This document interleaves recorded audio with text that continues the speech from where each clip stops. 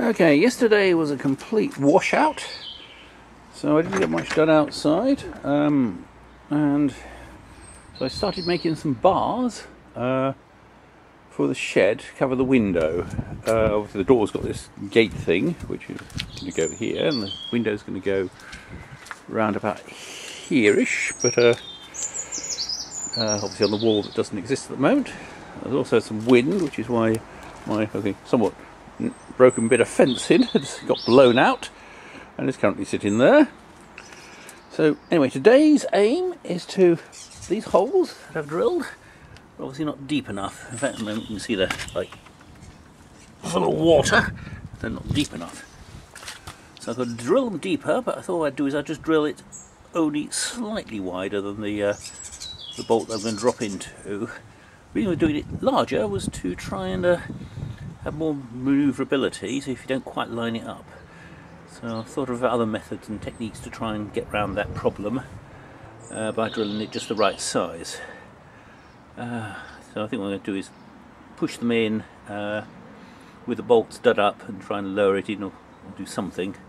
Possibly even drill uh, these holes, in fact I have to remove the uh, uh, penny washer, drill a slightly larger hole so you've got some wiggle ability. But we'll see what happens. Anyway, first thing I'll do is drill out some larger holes. I've got a new drill, so um, hopefully that should help. Alright, hobwood. Okay, that's my first hole.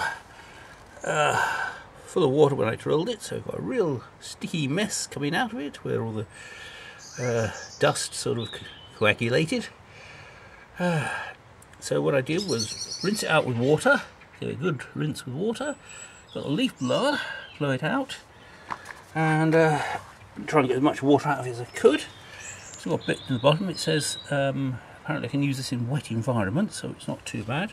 And the anchor drops in. Oh, sort of water around it, hopefully, hopefully try and get a bit more out, but let's see what we can do. Ah, at least it's a we're progressing. Right, uh, then I'll, I'll get some pipe or something to suck that out or whatever. Anyway, one down, nine more to go. Okay, bought this drill. Uh, well, I'll admit it's not the top end of the range of possible options, towards, definitely towards the lower end. Um, it is rated for what I'm um, supposed to be able to do. Uh, it basically broke on the second hole. this is great. Okay, I think it should last a bit longer than that. Okay, while I'm not denying it, it isn't the best, um, it should theoretically be able to do what I want. But it doesn't. So I'm going back to Toolstation. If you ever have one of these drills, don't buy it. Speak to you later. Okay, back again. Uh, got a different drill this time. This one's the slightly more upmarket, although towards the cheaper end of the market. Uh, this time, this one's got a yeah, key for this chuck rather than actually a chuck uh, keyless. In some ways, I actually prefer. You can get it more tighter. Uh, well, let's unbox it and uh, see what it's like. And see how I bet it works. Okay, here we have the drill. Uh, oh, actually, it feels a lot better. Well, it feels a lot heavier, let's put it that way. So, generally, working on the principle of the heavier it is, the better the quality. If you're adding lead weights just to make it people think it's better quality. Uh, you also got rather a longer lead, which I'm kind of on a very short lead.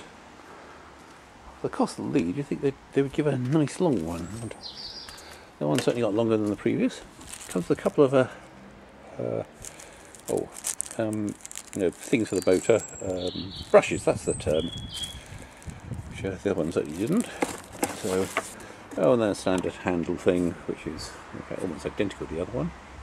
Uh, oh no, it's got, a, it's got a name on it, so it's not quite identical. And this thing, which really does look identical, which will measure in depth. Okay, we'll see how it goes. Okay, we have 10 lovely holes drilled. It's, uh, where is it? It's there, the next one. and all the corner ones. That one, that one there, and that one there. Obviously full of uh, water at this moment in time.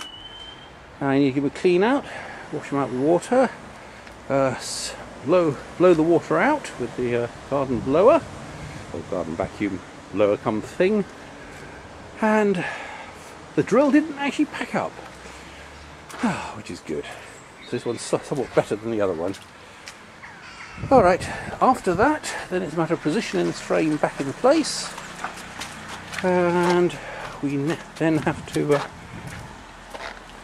fill it with this stuff. Got a couple of these tubes and uh, some spare nozzles just in case they give you one.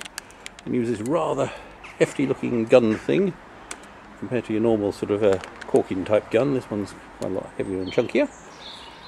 And we will uh, hopefully get a bit further today.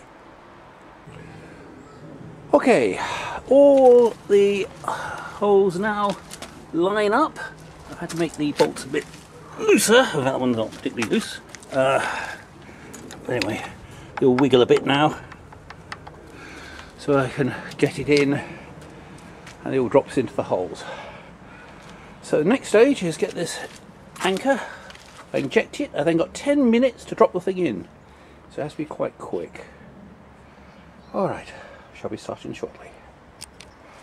Okay, we've now filled up the holes with epoxy, dropped the uh, sockets into it, into the holes. Okay, might still need some leveling discs, but once these things are set rock hard, we can undo the uh, undo the uh, bolts again, and uh, hey presto, we have uh, the anchor set in the right places. Well, that's the idea. So, finally got that bit done.